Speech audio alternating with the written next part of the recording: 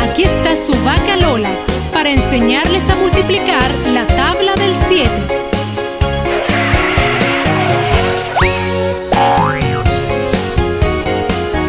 Todos a cantar conmigo.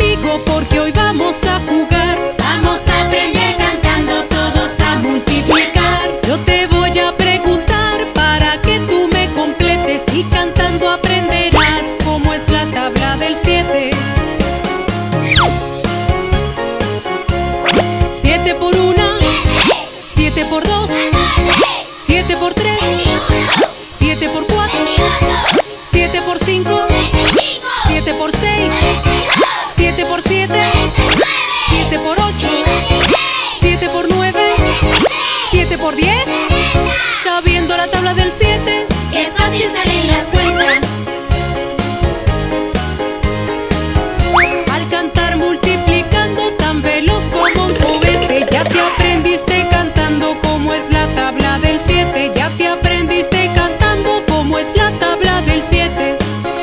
y con cantirrondas.